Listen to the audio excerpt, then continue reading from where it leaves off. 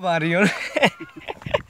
ਇਹ ਹੈ ਜੀ Indus river Indus river 1000 1000 years of ago ਬੂੰਦ ਬੂੰਦ ਪਾਣੀ ਡ੍ਰੌਪ ਡ੍ਰੌਪ ਆਫ ਵਾਟਰ ਕਿੱਥੋਂ ਨਿਕਲਦਾ, ਤਿੱਬਤ 'ਚੋਂ ਜਾ ਕੇ ਨਿਕਲਦਾ ਔਰ ਅਸੀਂ ਇਸ ਵੇਲੇ ਪਹੁੰਚੇ ਹਾਂ ਮੁਖਾੜ ਦੇ ਵਿੱਚ। ਹਿਸਟਰੀ ਆਫ ਮੁਖਾੜ ਨੂੰ ਮੈਂ ਕਵਰ ਕਰਨ ਦੀ ਕੋਸ਼ਿਸ਼ ਕਰ ਰਿਹਾ ਹਾਂ ਇਸ ਪਾਸੋਂ ਸਮਝ ਲਓ ਤੁਸੀਂ ਕਿ ਈਸਟਰਨ ਸਾਈਡ ਤੋਂ ਤਿੱਬਤ ਵਾਲੇ ਪਾਸੋਂ ਨਿਕਲਦਾ ਔਰ ਇਧਰ ਵੈਸਟਰਨ ਸਾਈਡ ਜਿਹੜਾ ਚਲਾ ਜਾਂਦਾ, ਬਹੁਤ ਹੀ ਇਸ ਵੇਲੇ ਅਸੀਂ ਬਿਲਕੁਲ ਦਰਿਆ ਦੇ ਉੱਤੇ ਹਾਂ।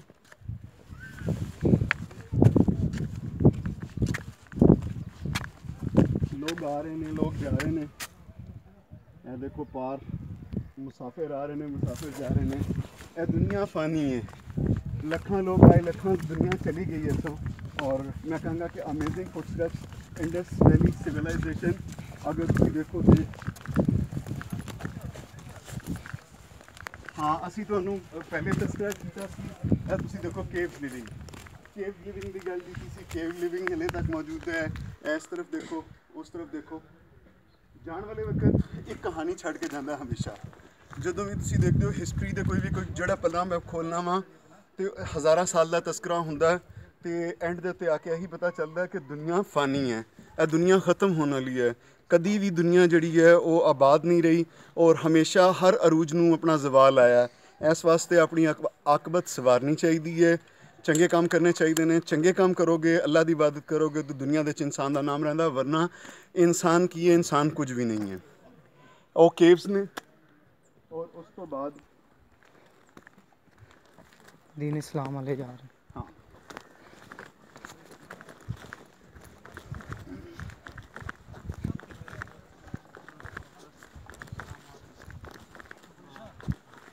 ਅਮੇਜ਼ਿੰਗ ਹਿਸਟੋਰੀਕਲ ਫੈਕਟਸ ਦਰਿਆਏ ਸਿੰਧ ਜਿਹਨੂੰ ਕਿ ਸਪਤ ਸਿੰਧੂ ਦੇ ਨਾਮ ਤੋਂ ਵੀ ਯਾਦ ਕੀਤਾ ਜਾਂਦਾ ਹੈ, ਦਰਿਆ ਸਿੰਧੂ ਦੇ ਨਾਮ ਤੋਂ ਵੀ ਯਾਦ ਕੀਤਾ ਜਾਂਦਾ ਹੈ ਮੁxtਲਿਫ ਇਹਦੇ ਨਾਮ ਨੇ 13 ਮੁxtਲਿਫ ਨਾਮਾਂ ਦੇ ਉੱਤੋਂ ਦਰਿਆਏ ਸਿੰਧ ਨੂੰ ਜਾਣਿਆ ਜਾਂਦਾ ਸੀ।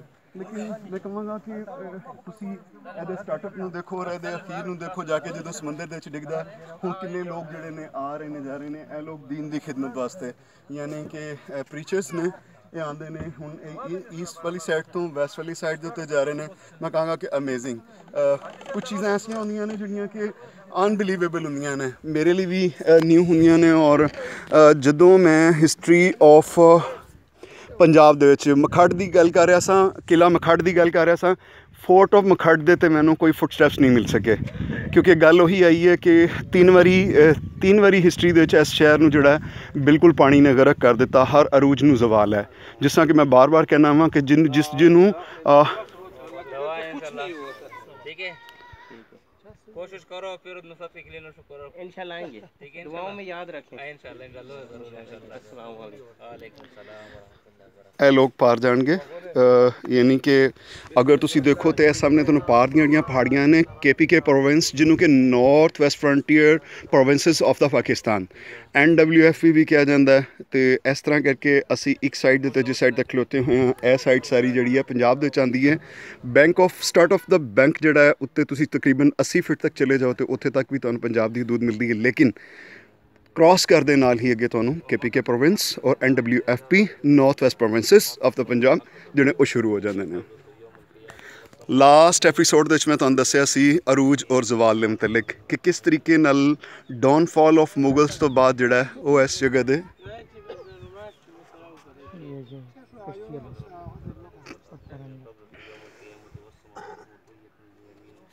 ਦੁਆ ਪੜੀ ਜਾ ਰਹੀ ਹੈ। ਸਫ਼ਰ ਸ਼ੁਰੂ ਕਰਨ ਤੋਂ ਪਹਿਲੇ ਆਪਣੇ ਆਪ ਨੂੰ ਅੱਲਾ ਦੇ ਹਵਾਲੇ ਕੀਤਾ ਜਾਂਦਾ ਹੈ। ਬੀਇੰਗ ਅ ਮੁਸਲਿਮ ਤਮਾਮ ਮੁਸਲਮਾਨ ਜਿਹੜੇ ਜਦੋਂ ਵੀ ਕਿਸੇ ਸਵਾਰੀ ਸਵਾਰ ਹੁੰਦੇ ਨੇ ਅੱਲਾ ਤਾਲਾ ਕੋਲੋਂ ਮਦਦ ਮੰਗਦੇ ਨੇ ਔਰ ਸਫ਼ਰ ਦੀ ਦੁਆ ਕੀਤੀ ਜਾਂਦੀ ਹੈ। ਵੈਸੇ ਤੇ ਸੁਭਾਨ ਅੱਲਾ ਜੀ, ਸਖਰ ਲਨਾ ਹਾਜ਼ਾ ਵਮਾ ਕੁਨ ਅੱਲਾਹੁ ਮੁਕਰਿਨ ਵਾ ਇੰਨਾ ਇਲਾ ਰੱਬਿਨਾ ਲਮੁਨਕਾਲਿਬੁਨ।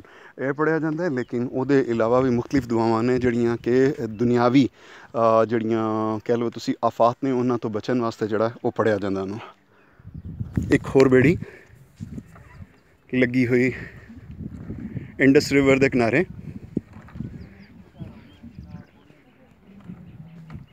ਆਊਚ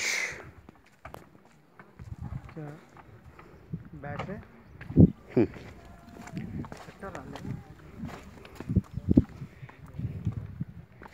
भाई लेके चलोगे आपकी बोट ख़राब है ਲਓ ਜੀ ਇਹਨਾਂ ਦੀ ਤਾਂ ਬੇੜੀ ਖਰਾਬ ਹੈ ਇਸ ਵਾਸਤੇ है लेकिन वैसे कहाँ तक जाती है मैंने उधर जाना था मैंने माड़ी जाना था माड़ी हाँ तो बहुत दूर है ਮਾੜੀ ਬਹੁਤ ਦੂਰ ਹੈ ਮਾੜੀ ਇੰਡਸ ਦੀ ਗੱਲ ਕਰ ਰਹੇ ਹਾਂ ਕਿ ਬਾਈ ਬੋਟ ਅਸੀਂ ਮਾੜੀ ਇੰਡਸ कहाँ से आए हैं? ਮਾੜੀ ਇੰਡਸ ਜਾਣਾ ਚਾਹ ਰਹੇ ਸੀ ਲੇਕਿਨ ਉਹ ਕਹਿ ਰਹੇ ਨੇ ਕਿ ਮਾੜੀ ਇੰਡਸ ਇੱਥੋਂ ਬਹੁਤ ਦੂਰ ਹੈ ਲਿਹਾਜ਼ਾ ਮੇਰਾ ਖਿਆਲ ਹੈ ਕਿ ਸਾਨੂੰ ਬਾਇਆ ਕਾਰ ਹੀ ਜਾਣਾ ਪਏਗਾ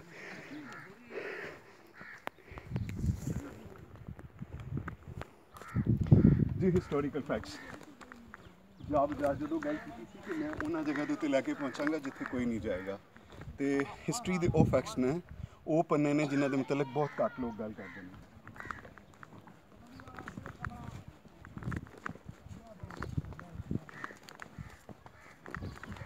ਰੱਬ ਰੱਖਾ ਫੀ ਅਮਾਨੁੱਲਾ ਫਿਰ ਮਿਲਾਂਗਾ। ਕਿਸੇ ਹੋਰ ਜਗ੍ਹਾ ਦੇ ਨਾਲ, ਕਿਸੇ ਹੋਰ ਪਲੇਸ ਦੇ ਨਾਲ ਉਹ ਤੁਹਾਨੂੰ ਸੁਣਾਵਾਂਗਾ। ਉਹ ਵਾਲੀ ਤਾਰੀਖ ਜਿਹੜਾ ਕੋਈ ਨਹੀਂ ਸੁਣਾਏਗਾ ਰੱਬ ਰੱਖਾ।